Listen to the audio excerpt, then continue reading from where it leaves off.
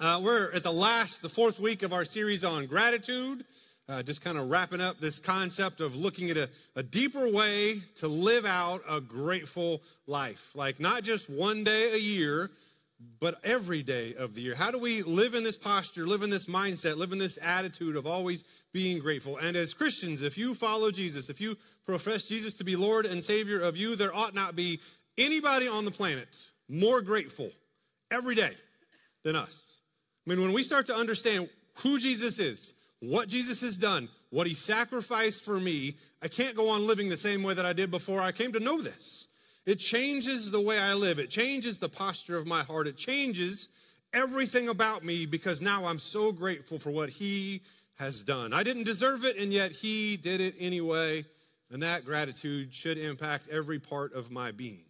In a world where we take so much for granted, and specifically in a part of the world where we have so much we can take for granted, not only is it good to give thanks, but it's this incredible posture that God teaches us, shows us, and presents to us that living from a posture of gratitude changes my attitude, changes my actions, changes my perspective, and changes my response. See, being grateful is not a natural response. When you were born, and, and, the first time you got your diaper changed, the first time you got to eat, the first time you got a toy, your natural response wasn't to say grateful or to be grateful or to say thankful thoughts or thankful words or thankful expressions. Our first response was, It's mine, I deserve it, you owe it to me. And since then, we've learned that God created us to be grateful. Now, we can be honest, like the reasons we're not great at being grateful or great at being thankful could be pride. Sometimes we just want to take the credit for ourselves. It could be that we're just self centered. I mean, that's a fallen human characteristic. But to be honest, for most of us, it's just that we just get busy. Like, I intend to be thankful, more thankful than I am. I intend to express gratitude more often than I get it done. But the, the reality is, life happens and I get busy and I get behind. A couple weeks ago, we looked at the story where Jesus had approached 10 guys with leprosy and he healed all 10 of them but only one of the ten took the time to come back and to give thanks. The other nine missed the moment to return thanks to Jesus for the healing that he provided. Why? Because gratitude is not a normal response. And often we, we have so much to be grateful for, we just don't take the time to reflect, to pause, and to give thanks. It takes intentionality. It takes specifically setting out to first see through the perspective of all that I have to be grateful for, and then to respond. We talked about this a couple weeks ago. It's not like not saying anything or not expressing anything is no big deal. In fact, we said this ingratitude is not neutral, it's never neutral. Every time I have an opportunity to express gratitude and I don't, it communicates something not doing something, not saying something, still says something. In fact, we said this unexpressed gratitude actually communicates ungratefulness. I can feel incredibly grateful for you, but if I don't express that, what you feel is the opposite of my gratefulness. Because if I feel it and don't express it, what you feel is taken advantage of. And if I feel it but don't express it, what you feel is that you were not even worthy of the time it took to say thanks. If I don't take intentional steps to demonstrate my thankfulness, my gratitude, I will appear as an unappreciative person to the person who feels unappreciated. The thing is, if we take time, there are always things we can find to be grateful for. There are always people that we can find to be grateful for. There is always things that our God does to provide, to give, to inspire that we can be so grateful for. Even when things aren't ideal, there's something to be grateful for. And even when things take longer than you hoped, there's still something to be grateful for. And even in the times of life that are hard, there's something to be grateful for. In fact, we said it like this every opportunity to grumble is an opportunity to be grateful. All that changes is my perspective. I can find stuff to whine about, I can find stuff to complain about. Anything that I'm looking for, I will always find. But every opportunity I have to grumble about how bad things are, how long things are taking, is also an opportunity just to be grateful for what I do have. Last week, Pastor Brent talked to us about the tension between living in a broken world, but also understanding that I always have something to be grateful for, that I can give thanks in all circumstances. No matter what the situation, there's always something that I can be thankful for. I was reading an article this week and I thought it was so fitting to where we are in this series. The article says, and I'll draw a conclusion, our understanding of gratitude is directly tied to our maturity. We know people who are immature, and immaturity often leads to feelings of entitlement, being overly emotional, and being very unsettled or not being at peace. which, if you know people, and sometimes I'm this person who describes my life as a roller coaster, right? Those incredible highs where the adrenaline is flowing, things are going great, and I'm just up here, followed by the dip, the dive, the valley, the low. And that wears us out. And it's hard on our emotion. It's hard on our psyche. It's hard on our mental health. There's so many things that this roller coaster does. It feels so good for a moment, but the reality is it does no good for us. Maturity helps to level things out. But not that we ignore bad things and not that we ignore emotions and how we feel. That's not a sign of maturity either. That's just ignoring reality. But maturity helps us to recognize this is what's going on and this is how I feel, but I can still maintain good and peace and joy and life. I can still maintain all these incredible things. It's understanding just because this circumstance happened doesn't mean my life has to be dictated by how I feel about those circumstances. Maturity is understanding that my emotions don't have to dictate my life. For a mature person, life is much less like a roller coaster. And I read a Rick Warren devotional one time and he used this analogy. I thought it was so fitting that life is not like a roller coaster for a mature believer, it's like a train track or a train ride. Still two rails. And on one rail, if you can envision at any given moment of life, on one side, on one rail, there are things that you wish were better. At any given moment, you wish something was better than it is. At any given moment, you wish you didn't have to go through what you're going through here. But on the second rail, at every given moment of your life, there are things to be grateful for. And when I understand this isn't perfect, but I can be grateful for this, life levels out like riding on a train to where you can experience joy and you can experience peace and you can live from a position and a posture of gratitude that helps you see that life is going to be fine because this isn't the life that I spend my eternity in anyway. At any given time, there are things that I can be grateful for. There will always be things I wish I can improve, sometimes more drastic than others, but there is always things to be grateful for in this very moment.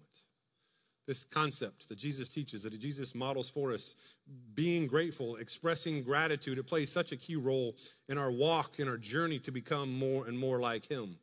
Grateful thoughts, they help to neutralize anxious thoughts. It's one of the most proven tools for capturing an anxious thought and making it obedient to Christ, to replace my thoughts of anxiety with words of gratitude.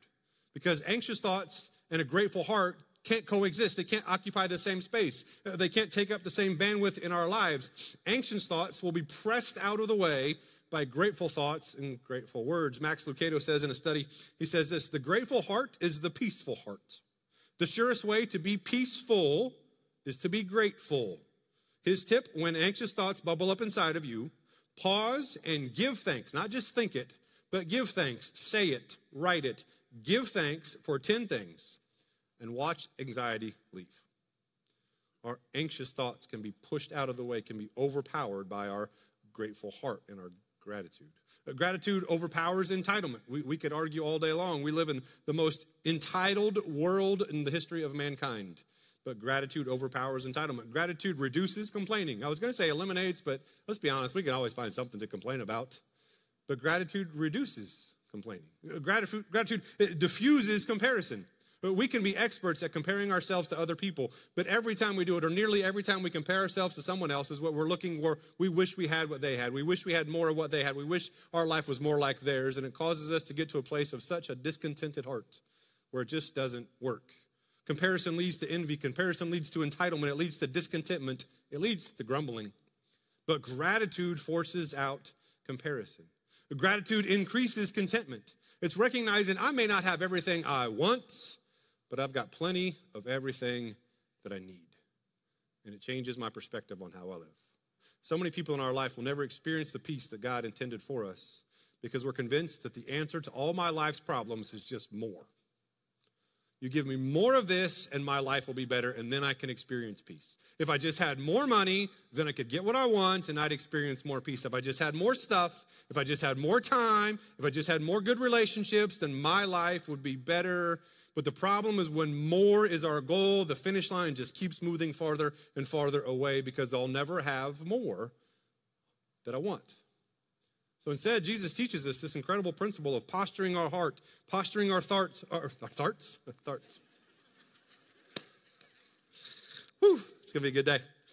Posturing our thoughts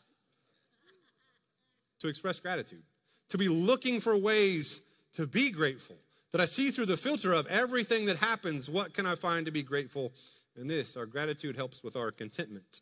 Gratitude helps deepen relationships. If you've got relationships that struggle, it may not be the cause, but I can promise you part of the reason that your relationships struggle is because the person that you're working with, they don't make you feel grateful, which makes the opposite true and really hard to hear. It may be the reason that people have problems with you in relationships is because they don't feel appreciated by you. When we don't feel appreciated, it damages relationships, and gratitude helps strengthen relationships. Embedded in all of this is so many attributes and characteristics of how God designed our relationship with Him to be. That God would use gratitude and a grateful heart to draw us closer to Him. That He would use gratitude and a grateful heart to make us to become more like Jesus. And that we would use gratitude and a grateful heart to become further and way, further away from the old, dead, selfish, self centered me that I was before I came to know Jesus. There is power in being grateful. You could even argue there, there is fruit from being grateful. As a result of being grateful, a grateful heart produces things like honor and respect. It produces empathy and patience. It produces kindness and generosity. And who could argue in my home, I don't need any more of those? Who goes to work in the morning thinking, you know what, I don't need any more empathy at work? I don't need anybody to be patient with me at work. It is so good here. If that's where you work, I'd like to apply. That'd be a good place to work. If you maybe you go home at night and you think, you know what, we don't need any more honor in our home. But we don't need any more kindness or generosity here. But the reality is the, the fruit, the proven fruit of gratitude is honor, respect, empathy, kindness, generosity, patience, so many good things that God uses to work out to become more like Christ. Every place people gather, there is a culture. Culture is the, the customs, the practices, the achievements, the, the things that people regard in a group. So there is a culture in your home. People gather there, there's a culture. There's a culture in your friend circles. People gather, there is a culture. If you're a student, there is a culture in your class, there is a culture on your team. Anywhere people gather, there is a culture. In every church, there is a culture. Culture is shaped by habits, by opinions, and by preferences. You know this, you just maybe don't think about it all the time. There is a culture in every home. And if you go into a home where the culture is different than yours, you become very aware very quickly. If you are a family who don't mind wearing your shoes inside the house, and you go visit someone who does not allow shoes to be worn inside the house, you immediately walk in the door and start to replay what it was like at 6:45 this morning when your alarm went off, and you put on those socks that you're not positive matched. Or maybe it's the one that's got the hole in the heel and you're feeling around for it. Is this the one with the hole? It's going to be so embarrassing because I didn't know I had to take my shoes off when I walked in the house. Or if you're the opposite of that, you are the house where people don't wear shoes, and then you walk into someone's house where they're wearing shoes everywhere shoes up on the couch, shoes up in the chair, and you're like, this is disgusting. How does anyone live like this? It's a different culture. It's a culture shock. Maybe when you were younger and you went over to your friend's house for the sleepover, and maybe you were a house, so you were at home where the culture was very quiet. We didn't argue. We didn't discuss our problems publicly. And this culture is you just talk at level nine. Culture shock, right? Like, we don't talk like this. Are y'all mad at each other all the time? This is not what I'm accustomed to. What have I walked into? Every, every home, every gathering of people has a culture. You walk into a restaurant, every restaurant you walk in to sit at has a culture. When they take your order, there is a culture. You can, you can order chicken at Chick fil A, at Popeyes, at Cane's, at uh, KFC, and everywhere you go, they're ser- serving the same bird, some fries, and a soda. But what do we know? The culture at every one of those is different. At Chick fil A, what makes them so notable, so good, is their sauce and their culture. That's what I'm talking about. Can I get an amen? amen? I know they're closed on Sunday. We won't hold that against them today. It's the culture, right? It's different. It's my pleasure. It's that the employees actually act like they want to serve you. Thank you for the salt. It's my pleasure. You don't get that at all the other restaurants? It's a different culture. Can I just offer this? Every gathering of people has a culture that was established either intentionally or by default. Chick fil A did not accidentally come across it's my pleasure at every restaurant. They intentionally took steps, put habits in place, put trainings in place that every employee knows I get to serve you. It's a different mindset, it's a different culture. Every gathering of people has, an, has a moment, has lots of intentional moments or lots of sequenced moments where you can intentionally build the culture that you desire or by default to build the culture that's easiest. By default, we'll build a culture that's laziest. By default, we'll build a culture that's entitled. So, what I want to do today as we conclude this series, and what I want to give is just some application steps right out of the scripture about how we can help to build a culture that best reflects Jesus by living a life of gratitude in every gathering that we're in. So, whether it's your home, whether it's your workplace, whether it's your team, wherever you gather with friends, with people, with coworkers, you have a role to play in changing the culture when it comes to gratitude, to move from a culture of entitlement to a culture of being grateful, to move from distant to being engaged, to move from disconnection to appreciation. If you're taking notes, we'll jump right into number one. To be grateful by example. Like so many things, even if I have a level of influence, I can't just change a culture or help improve a culture by telling someone else what to do. I have to be willing to demonstrate it myself. I can't build a culture of gratitude if I'm just telling my kids how they need to be more grateful. I need to model what it looks like to be more grateful. I can't just tell other people they need to get better at it. I have to get better at it myself. I have to live it out. I have to live out the example. I love that Jesus didn't just instruct us, you need to be thankful. Jesus didn't just point out, nine of y'all didn't come back to say thankful. What's wrong with you? Jesus modeled it. He set the example. He showed us what it looked like. John chapter 6, one of my favorite stories. John chapter 6 is when the disciples went and borrowed the little boy's fish and biscuits little basket, and they brought it to Jesus with no clue of how he was going to use that little Happy Meal number three to give to 5,000 people. And they bring it to Jesus, and the very first thing that Jesus does when he receives this little fish nugget Happy Meal was give thanks to God for providing. To the average person, that makes no sense at all. There are 5,000 men plus women and children all hungry, and you have a happy meal with some fish nuggets. What do you plan to give thanks for? That you get to eat, nobody else does? But then, if you know the miracle, then they feed and they have lots and lots of leftover. Jesus started the miracle with thanks for your provision. And then he moved on to thanks for what you're going to do. This is a whole nother sermon right here, but I'm about to preach for a minute today. Some of us might see God in a whole new light. Some of us might see our faith stretch in ways we never dreamed possible. Some of us need to have God to show us from a different perspective that it's not in us to just wait until God performs the miracle to say thank you for what he has done. It's not waiting until God changes the circumstances to have a posture of gratitude before God changes the circumstance. It's that in the battle, it's that in what's going on, it's that in the challenge that we thank God for what we're believing him to do. Jesus thanked God for feeding before he fed the first plate.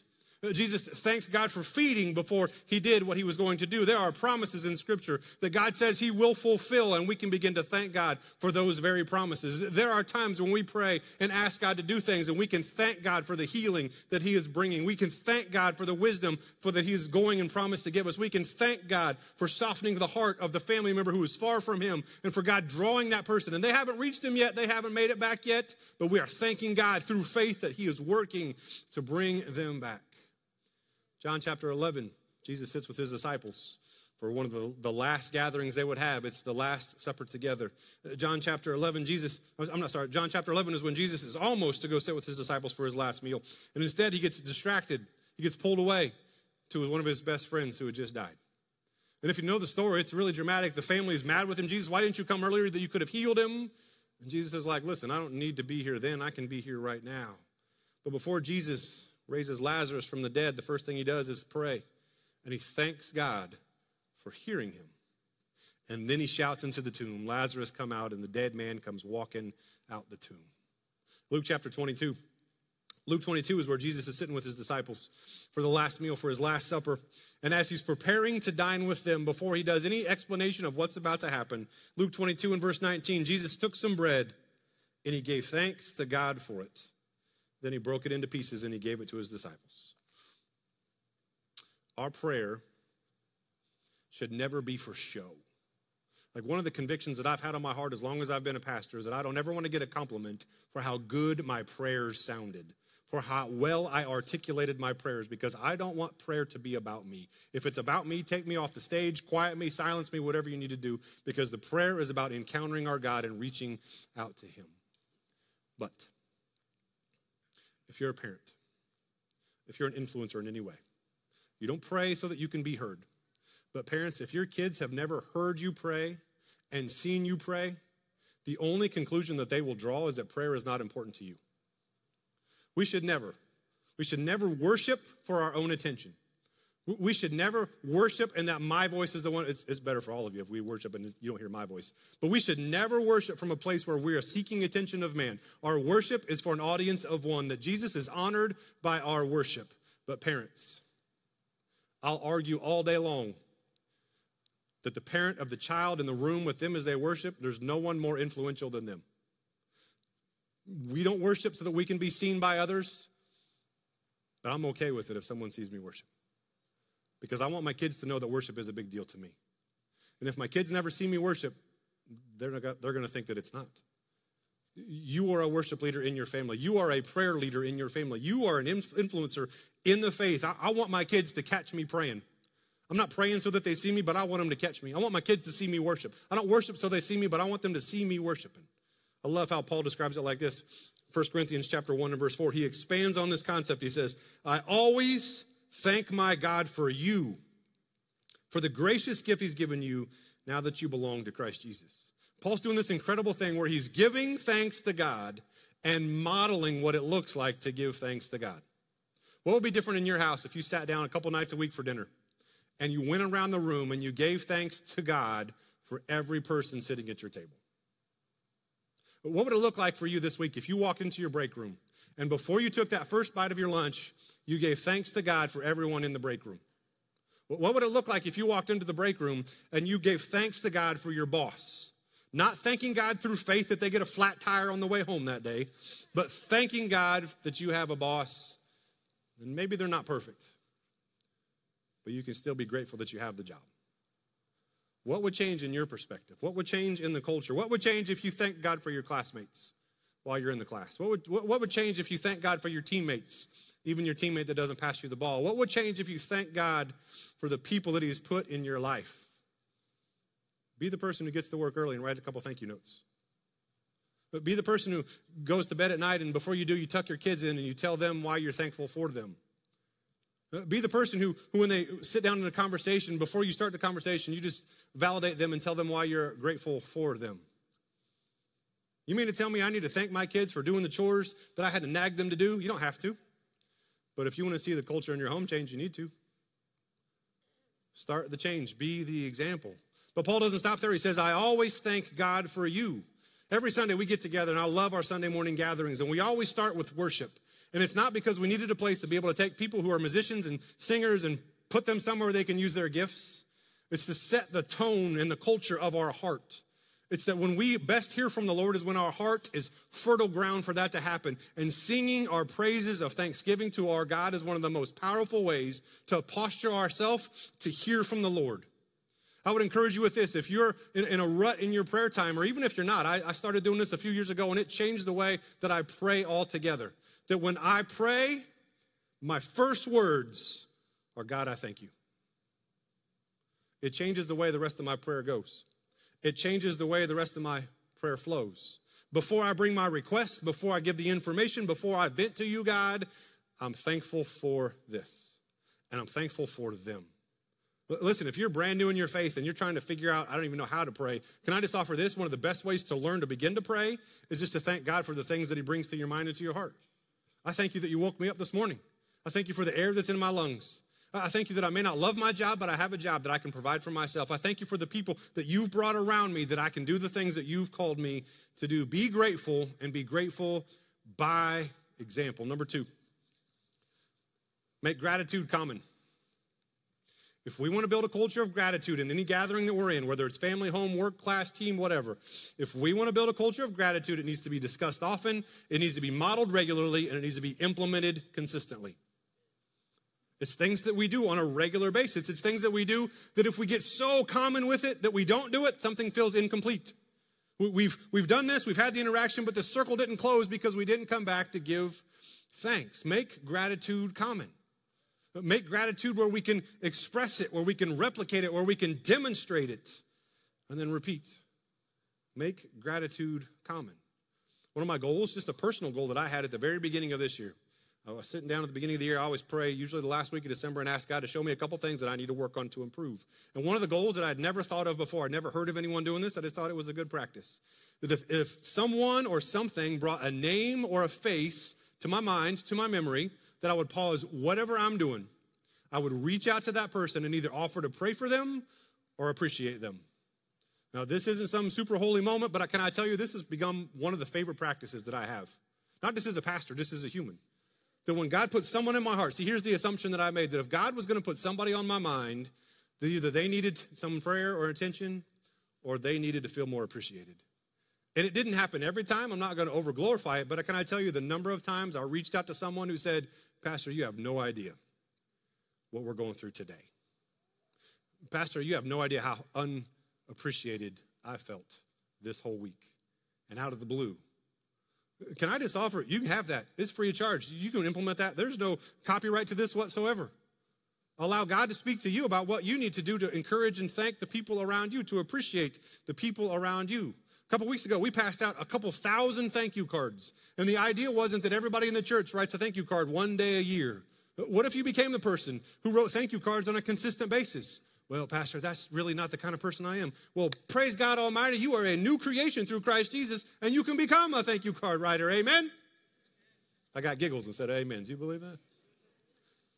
Make expressing gratitude part of our everyday language. A couple years ago, Katie and I, we, we kind of shifted the way that we try to implement this into our lives. We went to a conference and the, the guy talked about how simple and subtle this was and how much impact it made, and we were like, yeah, let's give it a try. For some reason, our kids like to do things like um, all of our kids, all four of our kids, love to take pictures of the sunset. Like, just we'll be driving down the road, even before they had a phone. Like, Dad, can I see your phone? I want to take a picture of the sunset. Look how pretty it is. I don't know why, but all four kids just really love to do this. I've encouraged them and tried to inspire them. I'm like, hey, the sun rises are just as pretty, but nobody seems to care about that. But what we tried to change wasn't some theological shift in, our, in the way we approached our kids and parenting our kids. What we changed was simply when our kids appreciate something like, look how beautiful the sunset is, we changed it to look how beautiful the sunset that God created is. It changes our perspective. And the more consistently we say things like that, it reframes how we appreciate what God has done for us. Yes, the sunset is beautiful. And even an atheist would admit the sunset is beautiful. But what speaks so much to us is that we know that the creator of the universe painted that for his kids. So, God, we are grateful you painted that for us. We are thankful for your creativity and your design. We are grateful for this beautiful sunset. Colossians chapter 4 and verse 2, Paul writes like this He says, Devote yourselves to prayer with an alert mind and a thankful heart. Now, I'm going to break this down like we're breaking down a math problem. Devote yourselves to prayer with an alert mind and devote yourselves to prayer with a thankful heart. This wasn't just to try to fill in the blank concept. Paul says, devote yourself to prayer with a thankful heart. What's devote mean? To make it common. To do it so often it becomes part of who you are. To do it so consistently that it's common in all that you do, so that everything I say and every deed I perform and every word I speak and perform to, to anyone else is all founded and grounded in this came from a thankful heart. This part may be uncomfortable for some of us, and I understand why, and I'll unpack that in a second. But if we're going to make gratitude common, then we have to get more comfortable in how we respond to gratitude.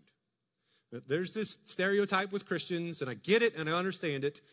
But if we're being honest, Christian folks can sometimes get really weird when someone says thank you. And I understand why. Like, we don't want pride to have a crack to enter into our heart. We want to be humble in all that we do. We want to point people back to Jesus. All good, all right.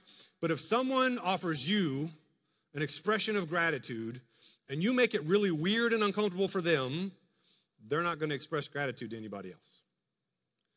Because our awkwardness and our uncomfortability is going to force them to think this is how all people are, and I shouldn't offer it. And it might even impact the way they express their gratitude to God.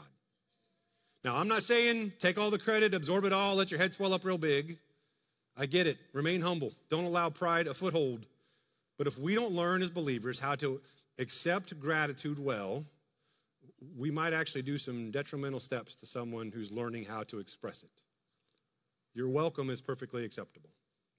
Maybe for you, give it some thought. I know some people that have some really awesome, amazing responses. Well, man, thank you for telling me that. I'm so appreciative. I'm just trying to use the gifts that God has given me to do the very things God's called me to do. Perfectly reasonable response. You're not taking credit for it, you're pushing people back to God, but it's okay to respond in a way to where they know, like, it's good to offer gratitude to someone else. Here's the thing it is a big deal. And so many times I'll find myself, someone says thank you, and I'll say something like, oh, it's no big deal. But listen, if it was a big enough deal that they felt led to say thank you, I don't want to squash it and make their big deal a little deal because of my awkwardness. What if we were practice prepared to respond to someone's appreciation and gratitude? Don't devalue someone else's gratefulness. Don't diminish someone else's expression of being grateful. When someone says thank you, respond in a way that honors them and honors our God. Number three leads right into this, probably the most important one. All praise goes back to God. It's good when someone says thank you to me, but all praise goes back to God. It's where we got this idea of let's pray before we eat. I mean, it's, it's one of the things we practice most in our culture. Like that's, that's the staple in the Midwest, right? Like we are going to pray before meals. You don't pray before salad. You don't pray before dinner rolls. You don't pray before the bread. You pray before the meat. Good food, good meat, good God. Let's eat. Let's go. But if that's the only time that we pause to give thanks to our God for what he has done, we're really not establishing even a culture of gratitude in our own hearts. We're practicing it, but we're just checking the box. Yep, I said thank you.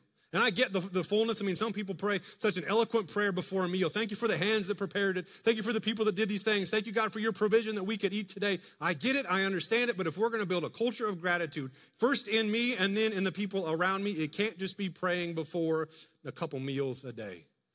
If we're going to catch it, it's a beautiful sunset. No, it's a beautiful sunset that my God has provided for me. If we're going to catch it, before my kids go to sleep at night, I'm so grateful for every last one of them. Every good thing comes from God. And our natural human tendency is to concentrate on the negative more than the positive. If you go in for a review with your boss and they give you 10 positive things and one needs improvement, what do you walk out of that meeting remembering?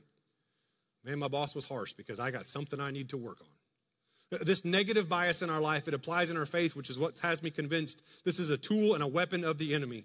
God can provide for us a hundred things to be grateful for, and what do we get fixated on? The one thing that's not as good as we wanted the one thing that didn't come as fast as we wanted and hoped for. This negative bias is eliminated with our attitude and our heart and our posture of gratitude. Church, if you want to see a culture of gratitude form in your home, in your classroom, in your workspace, in your friend group, and in your own heart, to have a bend, to be grateful for all that, uh, that God has done in me, through me, and for me, changes everything. Gratitude is not natural, it doesn't come as a natural response. Our default is never going to be, let me pause for a minute and just be wowed by the goodness of my God. But when I intentionally take time to reflect on what He's done, who He is, and what He will do, listen, I get it. It's easy to get busy. And it's easy to take things for granted when you've seen so many good things. And it's easy to get complacent and easy to feel entitled. And, and, life doesn't stop and time is limited and everybody wants to see so much more of your time that I love the simplicity and the truthfulness of the psalmist. Psalm chapter 50 and verse 14. One sentence changes everything. It's not even a full sentence, it's a sentence fragment. Make thankfulness your sacrifice to God. I love the word sacrifice in this text. Because sacrifice, by definition, means that it cost you something. When was the last time that your gratitude cost you something? We don't even want our gratitude to inconvenience me, let alone cost me. This isn't just a practice for Christ followers. This isn't just a recommended thing to do for the Christian. That all praise must go back to God. Because anything that, that anything that doesn't turn praise back to God turns to pride in me admiration, appreciation, validation, all good, all make me feel good. But if I don't point that back to God, that will put a seed in me that grows into pride that competes with the Spirit that forces the Holy Spirit to pause.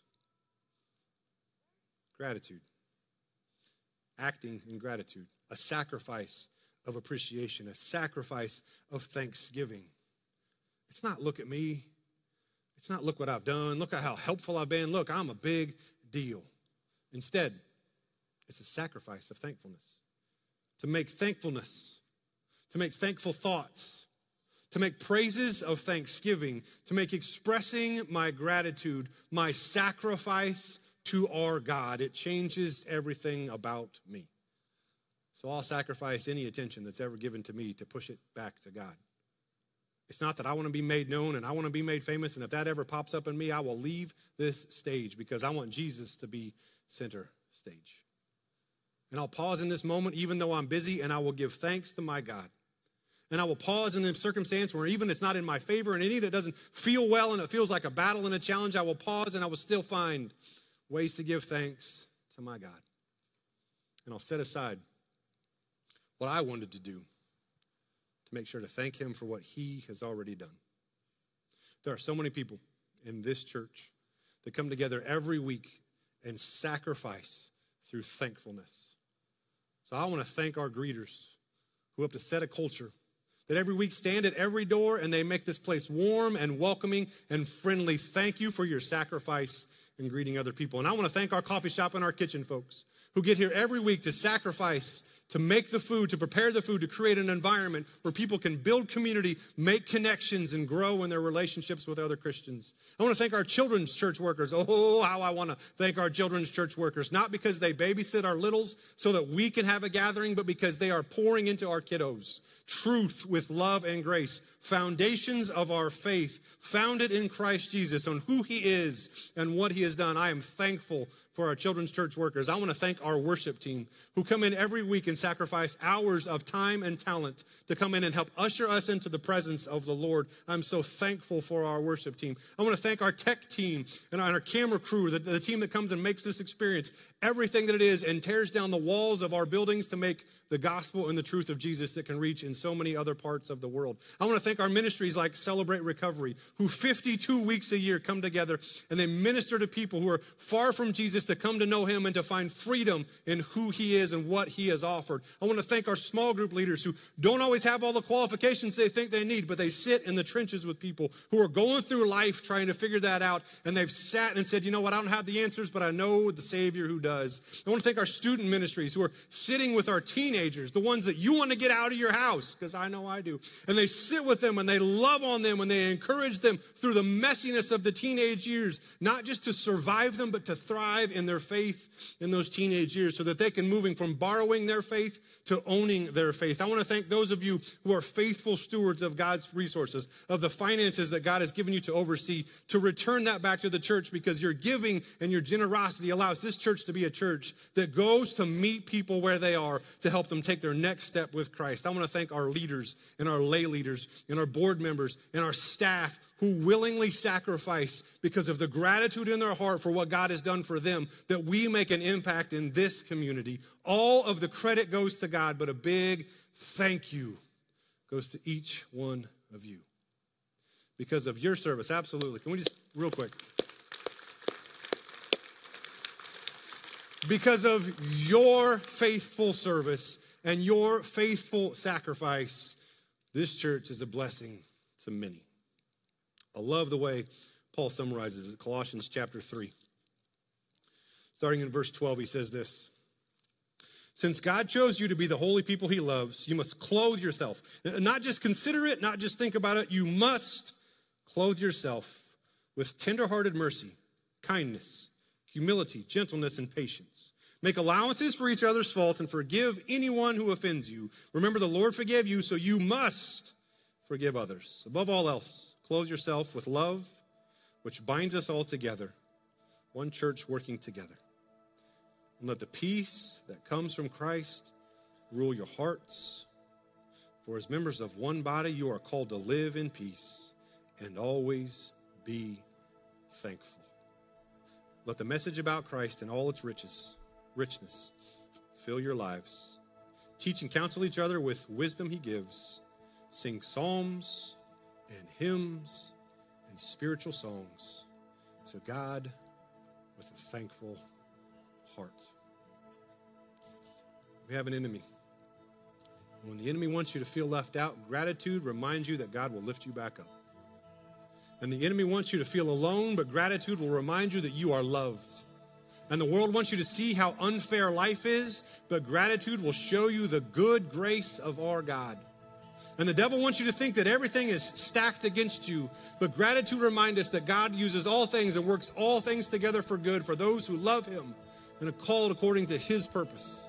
The enemy wants you to focus on what you're missing, and gratitude reminds you all the ways that God provides. The enemy wants you to think that you're so disconnected, and that gratitude reminds you all the ways that you're cared for. The enemy wants you to live in the darkness, but gratitude lets the light in. It's gratitude in every situation that turns my attention back to my Heavenly Father. It's gratitude, the sacrifice of thankfulness to my God that opens the door for His joy to return. When my praise and my thanksgiving is a sacrifice, peace is my privilege. So I want to encourage you today before we go. As we wrap up this series, as we start to live not just this week of Thanksgiving, but this life of giving thanks. I want to invite you to stand to your feet and we're going to sing our praises just like we started today out. I want to encourage you that no matter what circumstance you're in, I want to encourage you that no matter what life challenge you're going through, there are two tracks to the railroad, and we have so much to be grateful for. I want to encourage you as you go into this Thanksgiving season that it doesn't end on Friday that we don't move on to the next season, to the next thing, but that we, as followers and believers, we sit in a position and we stand in a position where we can give thanks in all circumstances. Heavenly Father, God, I thank you.